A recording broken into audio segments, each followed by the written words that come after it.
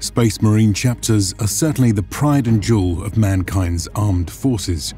Yet, in the scale of warfare being waged in the grim future, they are dwarfed by the other units of the Astra Militarum. In fact, when put in proper context, the Astartes are of vanishingly small strength with no ability to truly act as the guardian angels for all mankind. Rather, this role of the everyman's defender falls to the humble ranks of the Imperial Guard. Theirs is a vast, galaxy-spanning institution whose chimeran shape and size is impossible to document. But today we shall nonetheless make the attempt by exploring the shared characteristics of its organizational building block, the Imperial Guard Regiment from the loadout of its individual soldiers to their leaders, their various weapon squads, the unit hierarchy, and beyond. To aid us, we shall use as our model the finest soldiers of the Imperial Guard. This is the true size of the Cadian Shock Trooper Regiment.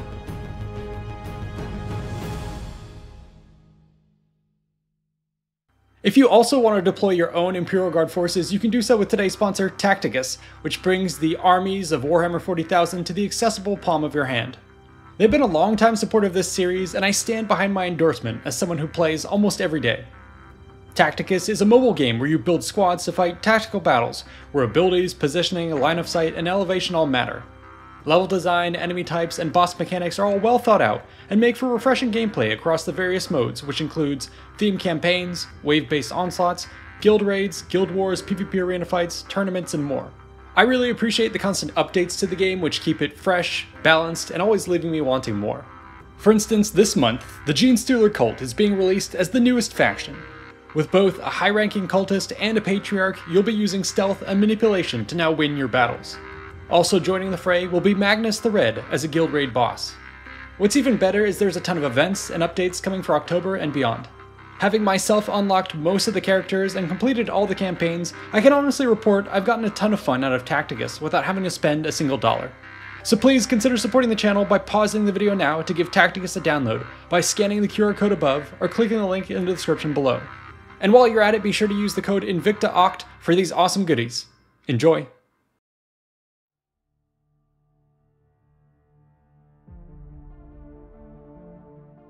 The Imperial Guard is a vast military organization of unfathomable complexity, the likes of which its own administrators fail to even grasp. However, some semblance of order is given by the existence of regiments, each raised from their own planet, which act as the primary organizational unit of the Imperial Guard. Yet, given this fact, regiments are also far from standardized owing to the diverse nature of their homeworlds.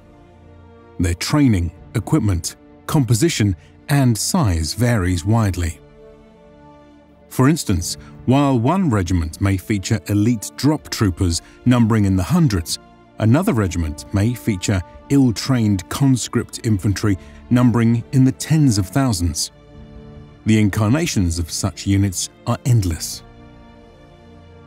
But regardless of their flavour, it is a general practice across the Imperial Guard to raise such regiments within a strictly confined role to mitigate the dangers of individual units turning traitor, a brutal lesson learned from the Horus Heresy.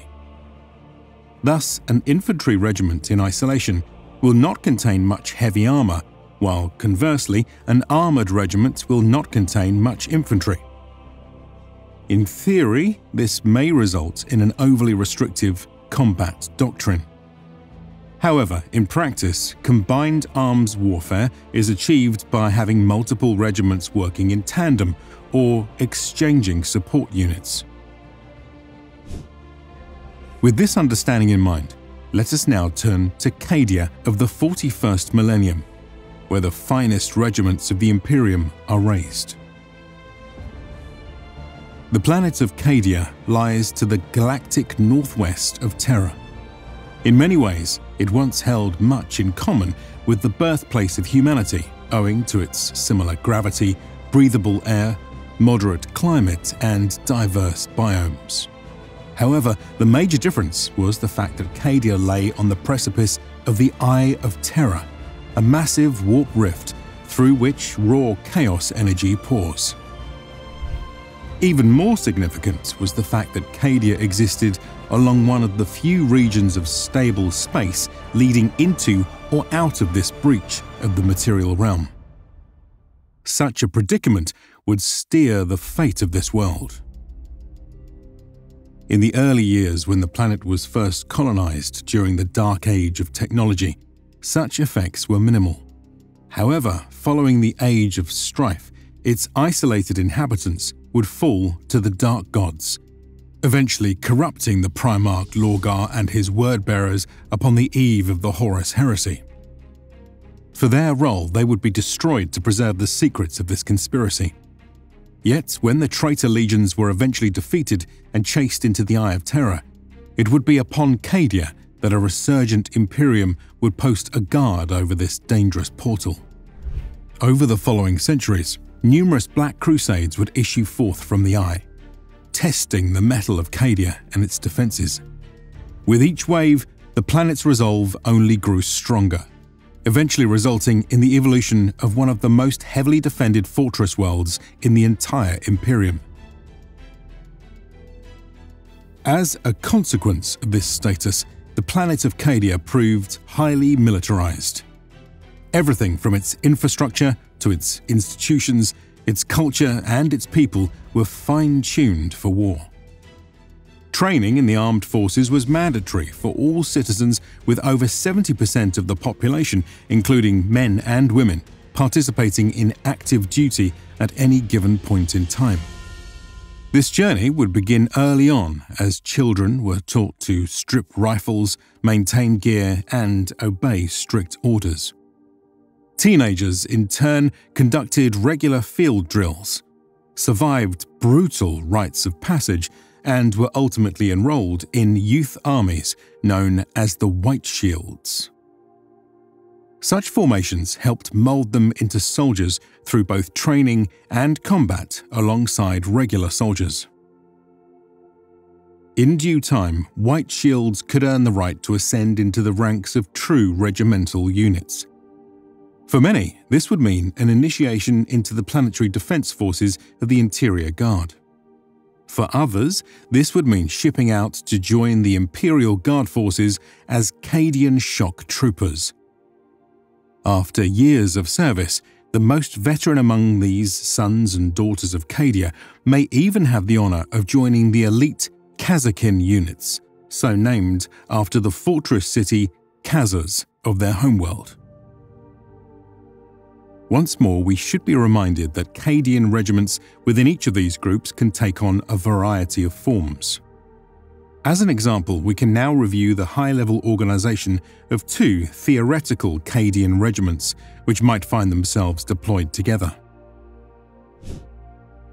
The first is a Cadian Line Infantry Regiment. Its regimental HQ is led by a colonel and supported by his staff in the Command Company. The main fighting force, meanwhile, consists of three infantry companies. Each is led by a captain and their command squad. Beneath them are four platoons. Each features their own lieutenant led HQ and three 10 man squads led by a sergeant.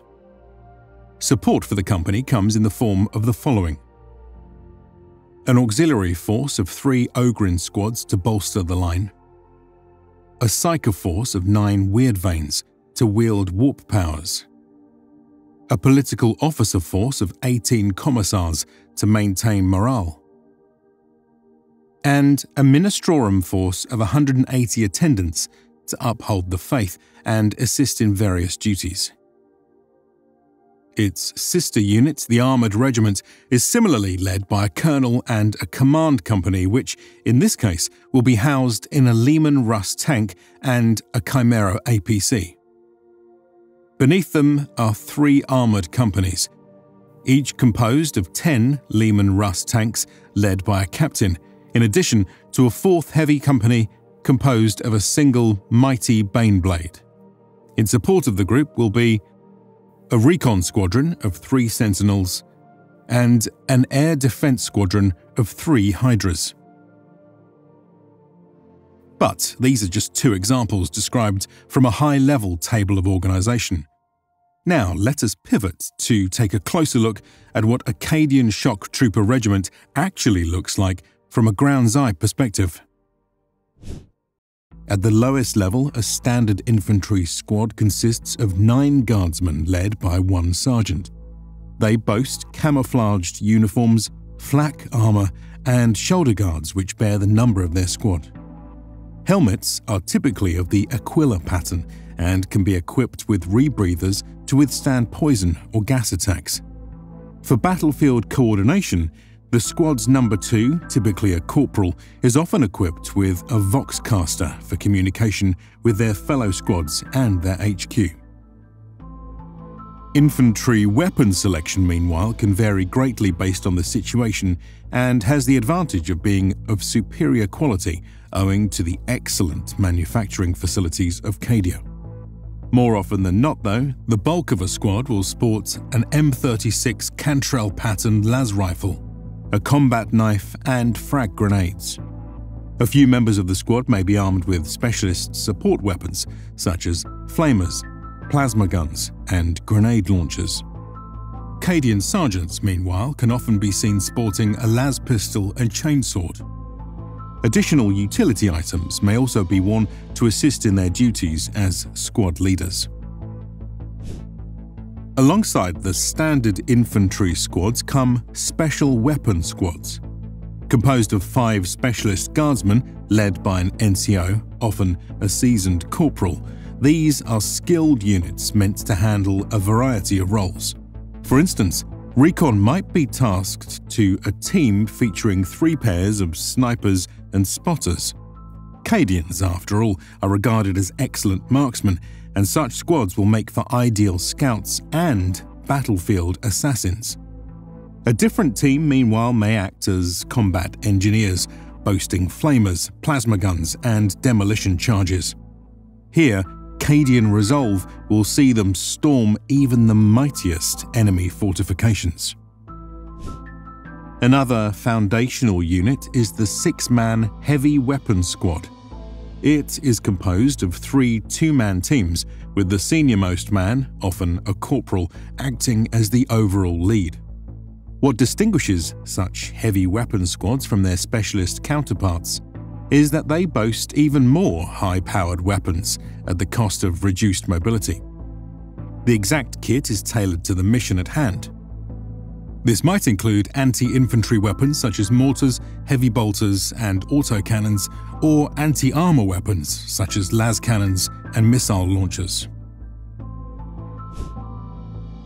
And finally, we would be remiss not to mention the conscript squads.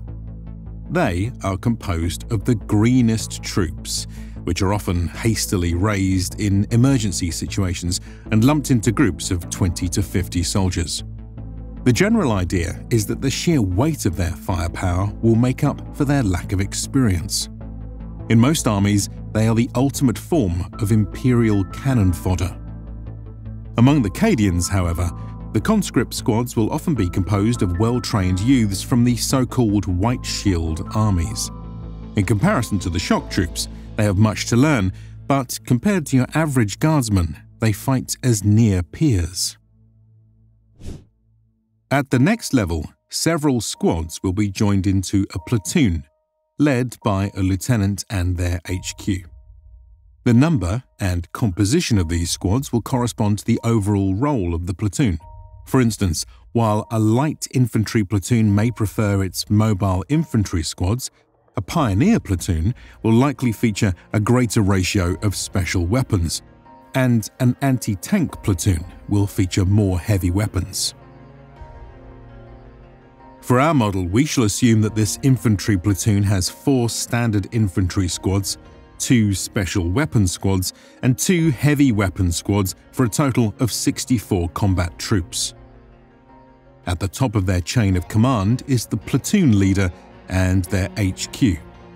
When deployed, this staff will often be assigned a Chimera APC. Not only does this grant them protection and mobility in the field, but it also hosts important equipment such as long range Voxcasters for communication with High Command. The platoon leader will typically be a commissioned officer with the rank of a first or second lieutenant. Though such leaders may be quite junior in the overall army hierarchy, among Cadians they are nonetheless highly experienced individuals who have passed through the rigorous halls of its finest military academies. Given the militarized nature of Cadian society, it should also be noted that such officers will often be drawn from its actively serving nobility. Thus, they can be expected to bear marks of distinction befitting their rank and prideful background. In some cases, this may even mean wielding custom sabers, power fists, and personal refractor fields. In their duties as platoon leaders, lieutenants are assisted by a small personal staff of NCOs. These will typically include a flag bearer, a Vox operator, a medic, and additional technical experts or specialists. Attached to this group may be an additional member, the Commissar. Donning distinctive caps and great coats, they hail from the Officio Praefectus, which is an entirely separate military organization than that of the Imperial Guard. As such, these political officers technically exist outside of the chain of command, with a broad mandate to do all that is necessary to maintain the morale of the troops. Under normal circumstances, this will usually mean that commissars act as advisors to the HQ, willingly following the directives of their unit's leadership. However, when they deem that their directive clashes with such orders, commissars have sufficient authority to countermand them and even enact disciplinary measures up to and including the summary execution of officers. Thus, do they act with both incredible courage and brutality, which inspires the simultaneous awe and fear of the units to which they are attached. Zooming out, we can witness the already appreciable size of our 70 man strong platoon. On its own, such a force may hold a few hundred meters of a battle line and be able to take on a range of tactical objectives. Yet, we must go up another level to begin considering units with broader military capabilities.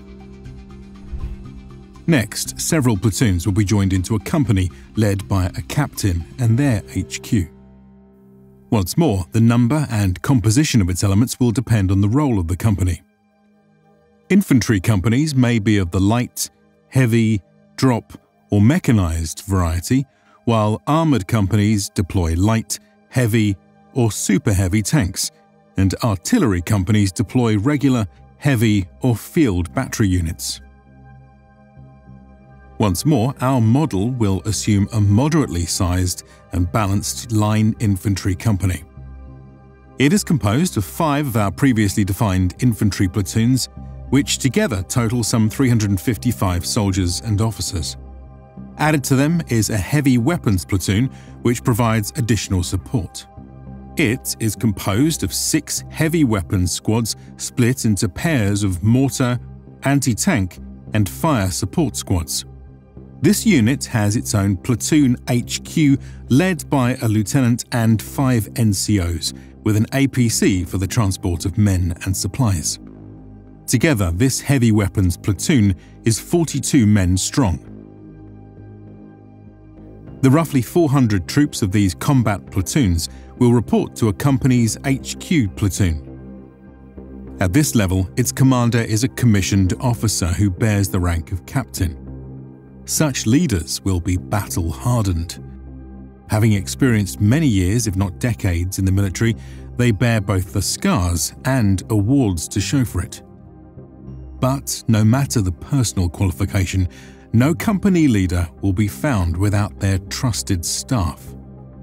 This includes the typical assortment of NCOs we previously covered and a higher ranking commissar.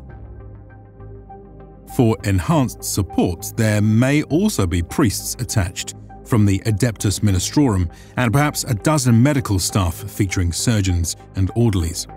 We shall assume that to account for all this added manpower, the HQ has been assigned the use of three chimeras, one of which may be converted for medical use. In addition, we will assume that a recon squadron of three Sentinels has been attached for the sake of enhanced patrol and observation. Zooming out, we can appreciate the increasing combat strength of our company. With such numbers and hardware, it can flexibly adapt to a vast range of battlefield conditions, whether that means deploying in a wide, a deep, or a dispersed formation.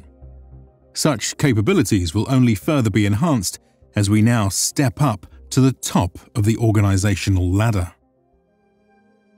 Next, multiple companies will join together to form a regiment led by a colonel and their associated HQ. Again, we recognize that there is no rule dictating the size or composition of this largest of imperial units. For our model, we will assume that 10 of our prior companies make up this infantry regiment. These will be ranked in seniority from 1st to 10th. But the most novice units will actually be the squads of White Shields, whose youth soldiers have been assigned to serve on rotation within this regiment. We shall assume that there are a total of 10 such squads, or about 300 troops, which shall be distributed across the 10 companies. Here they will complete their training through a baptism by fire in the battles of the Imperial Guard. At full strength, these combat units muster about 4,530 troops and attached personnel. But we must now consider the additional elements which round out the roster of the regiment. At the head of the organisation will be the regiment's HQ company, It is helmed by a commissioned officer with at least the rank of colonel. Larger or more esteemed regiments may instead be led by a general or even a Lord Castellan. Whatever the case, they will be of impressive degree, especially for those leaders which have risen up through the fiercely competitive ranks of the Cadian armed forces. Besides them will be the members of their HQ staff. Within its inner circle will be a second in command who often bears the rank of major and a high ranking commissar. Besides them will be regimental advisors who might come from other organisations of the military or who may hail from important civilian institutions. Standing close by will be the chief standard bearer, honour guards, and other high ranking commissioned officers or specialists. Beyond this inner group, one should expect to find a far more expansive administrative staff. After all, such regiments are operationally independent units within the Imperial Guard, which must be equipped to deal with these complexities. A burden not shouldered by the HQ staff of a company or platoon. Among this wider group, we may count dozens of medical staff, priests, records keepers, and menials. Outside of the infantry companies and the command company, we may yet consider further groups which have been bolted onto the regiment to grant it improved capabilities. One of these units will be the Militarum Auxilia. In our case, we shall assume this amounts to a handful of Ogryn squads. Such abhumans are prized for their great strength and unflinching loyalty. As such, they may be concentrated for use as shock troops, or dispersed across the regiment to stiffen the line, or to act as bodyguards.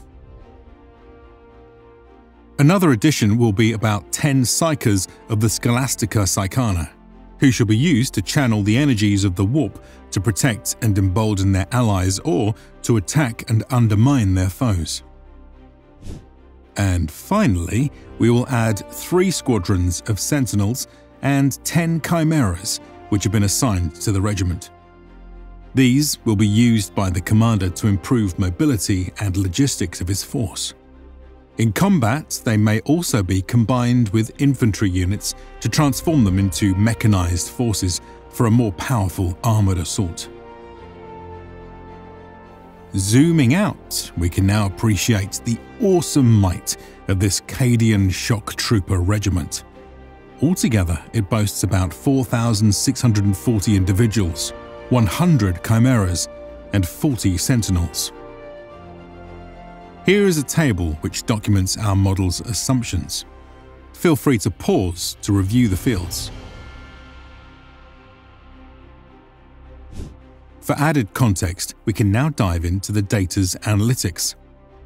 In terms of overall role, 84% of the individuals belong to combat squads, 10% belong to officers of the HQ staff, and 6% belong to support staff such as the medical, priestly, or scribal personnel.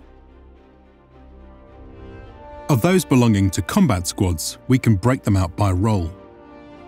There are 200 infantry squads, 100 special weapons squads, 160 heavy weapon squads, 10 conscript squads, and 5 miscellaneous squads.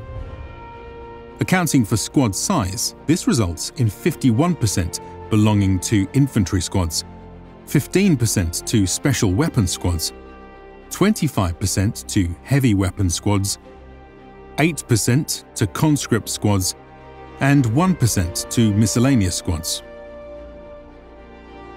Reviewing these numbers reveals how this particular regiment is balanced and what sort of combat effectiveness one might expect from it.